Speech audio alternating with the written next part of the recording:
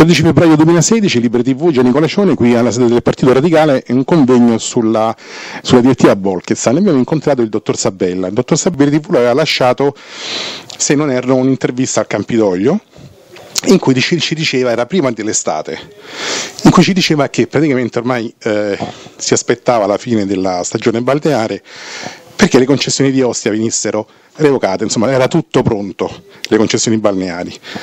Già aveva detto più di una volta che erano praticamente su 71 tutte quante avevano dei problemi, eh, però vediamo che purtroppo le cose vanno un po' a rilenti in questo senso.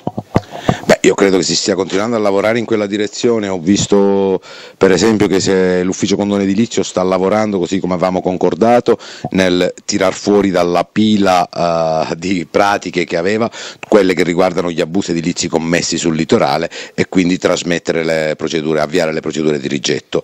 Rigettato i condoni a quel punto la decadenza è pressoché automatica del concessionario perché ha commesso un abuso, ha violato le concessioni demaniali. Quindi praticamente cioè, le, quello che lei, tutto il lavoro che lei ha fatto e che poi dopo per tutto quello che è successo, le dimissioni del sindaco, eh, diciamo, eh, ha dovuto, è sospeso un lavoro preziosissimo che poi abbiamo sentito anche intervenire in questo convegno attuonato, veramente parole di fuoco molto pesanti dicendo cose molto gravi. Noi avevamo il timore in qualche modo che la sua attività, che era anche abbastanza rapida, decisionistica, con certo piglio, eh, insomma si stesse un po' dilungando un po' troppo per una revoca, insomma ci vuole tanto. Beh no, un po' di tempo ci vuole in realtà, bisogna scriverli bene i provvedimenti per evitare problemi al TAR. Io ero pronto già perché avevo preparato le bozze, già delle alcune determine di decadenza per una quindicina di, di, stabilimenti, ma potevano diventare anche un pochino di più, diciamo, per quelli per cui ero assolutamente certo di riuscire a ottenere il risultato.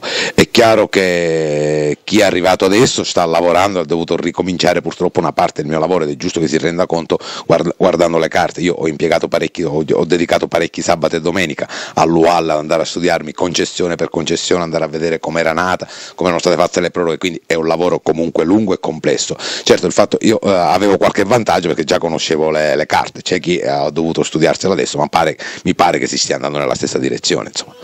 Bene, la sua presenza qui comunque sia ci rassicura perché in qualche modo è come se lei vegliasse un po' su questa giunta di giunta, insomma, su questa amministrazione di transizione commissariale e poi quello che verrà. Una parola su queste amministrative, pare che l'ex sindaco si ricandiderà, eh, ci sono parecchi candidati centro-sinistra, lei che ne pensa?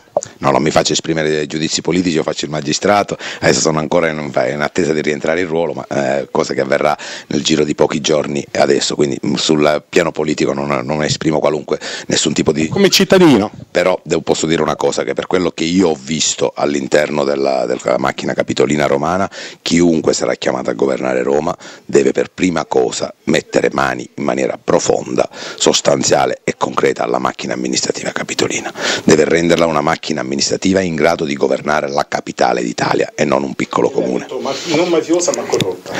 Non mafiosa, sicuramente Roma non è una città mafiosa, attenzione, Roma ha le mafie nel suo territorio ma non è una città mafiosa, Roma purtroppo è una città profondamente corrotta, questo non, è inutile negarlo.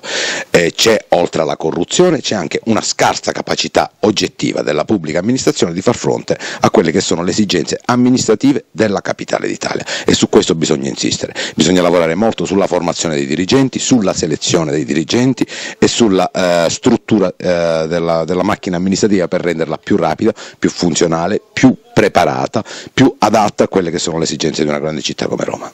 Grazie dottor Sabella.